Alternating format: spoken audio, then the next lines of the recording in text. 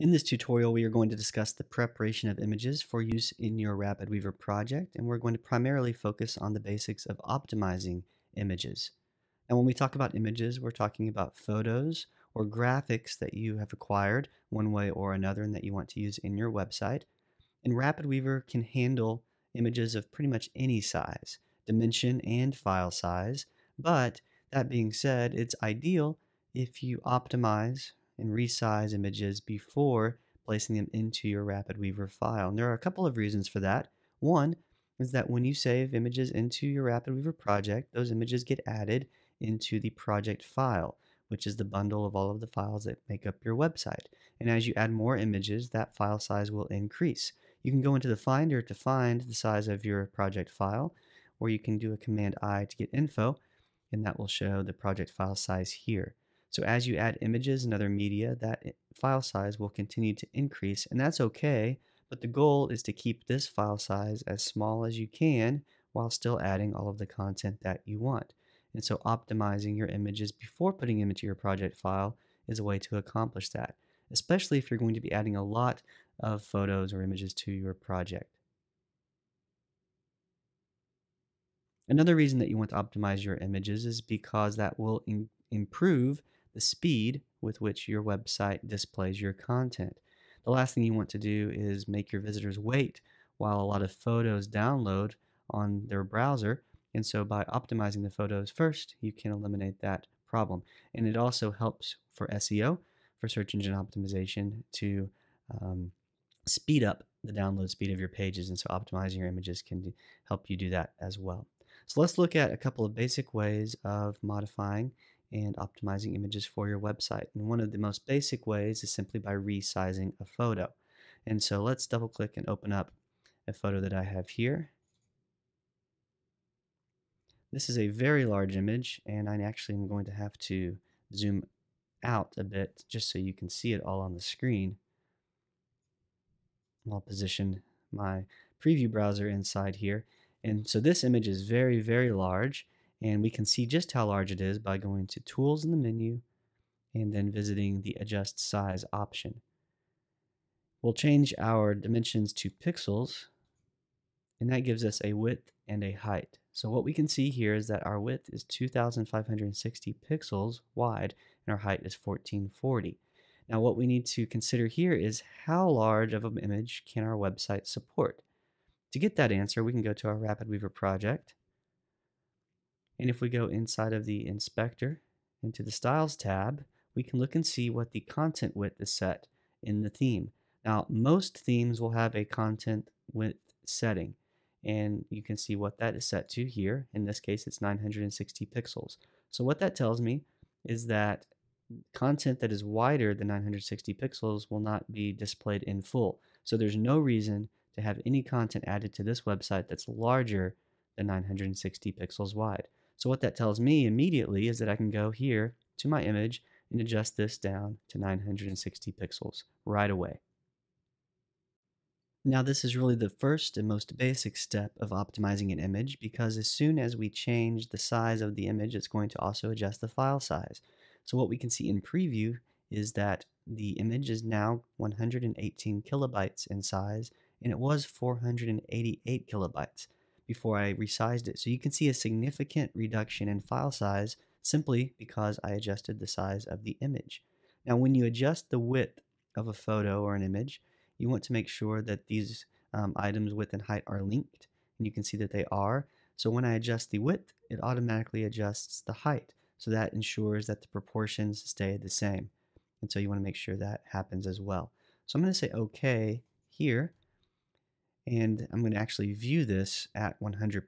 So I'm going to go to view actual size and that scales it up. So this is the full size of the image. I could drop this straight into my RapidWeaver project as is and it would be just fine. Of course, I'd want to save it first and then that would be all I needed to do.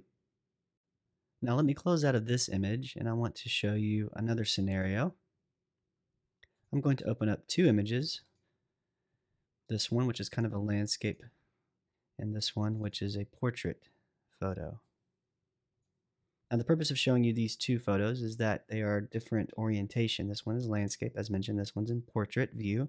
And if you're going to be adding photos into a photo gallery, in most cases, it's ideal if the images are the same dimensions. And that's going to be an issue for me here in this scenario because I've got one that's landscape and one that's portrait. So I have a couple of options. One is to create separate galleries, one gallery that contains only landscape oriented photos, another gallery that only contains portrait oriented photos. Or if I want to combine all of them together into one gallery, then it's likely that I'm going to need to crop in order to get these images to be of the same or a similar dimension. And so in this case, what I would do is start off by looking at the um, landscape photo here. And I'm going to go view its size. I'm going to go to Tools, Adjust Size. It's 800 pixels wide, and that is okay because it's going to fit inside of my theme. Now I want to go look at this image. I'm going to see that it is 536 pixels wide. So already I've got a image here that is much less wide than this one. So the first thing I want to do is match this image to this width. So I'm going to come in to the tools, adjust size, and I saw that this one had a width of 536. So I'm going to adjust this one down to 536 as well. So now it has an equal width as this image to the right, but now I need to make this image have an equal height as this one. Now I cannot come in and go to Tools, Adjust Size in this case, because that's just going to shrink the entire image, including the width. I want to leave the width the same, but remove some of the height. And so to do that, what I'm going to do is scale my window a bit. And then I want to drag this box and position it on the photo.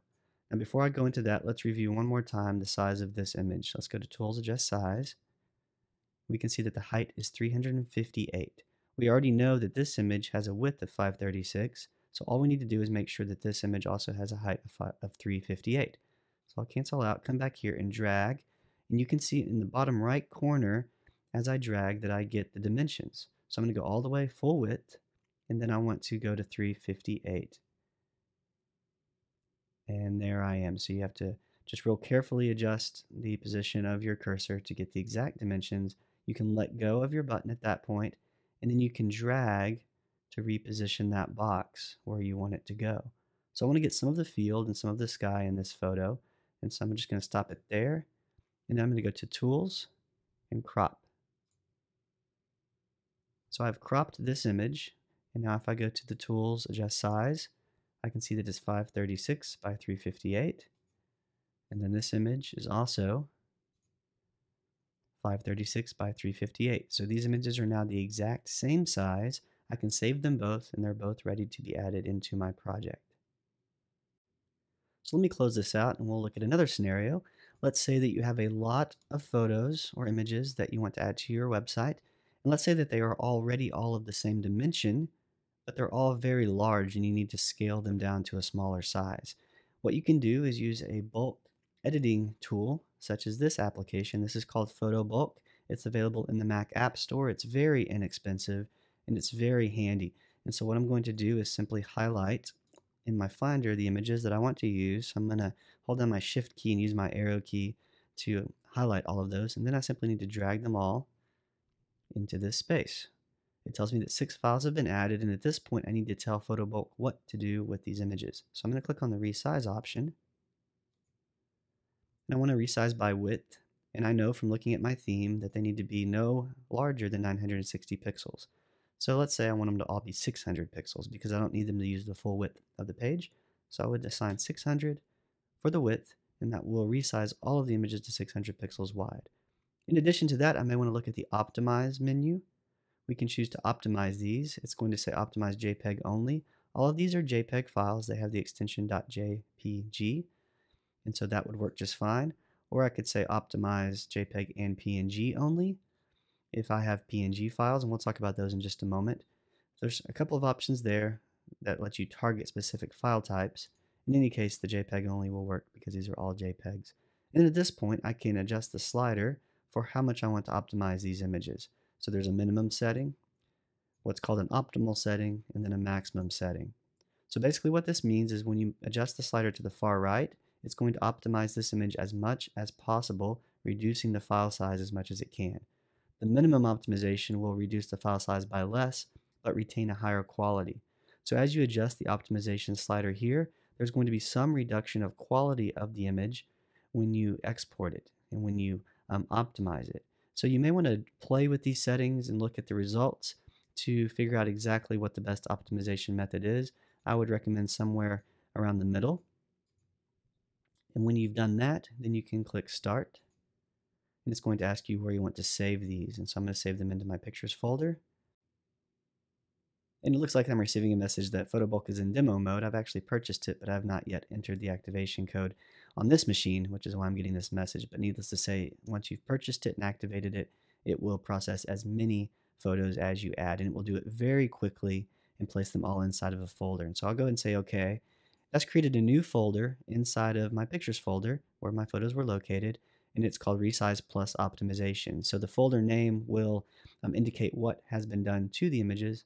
We'd go inside and we would find our image. And so we would see it in a new size and optimized, and we would get the resulting file size here. So you could compare the file size between what's in this folder and the original image. So this is 39 kilobytes. If I go back, I will find that this one was 172 kilobytes. So it has significantly reduced the file size of the image.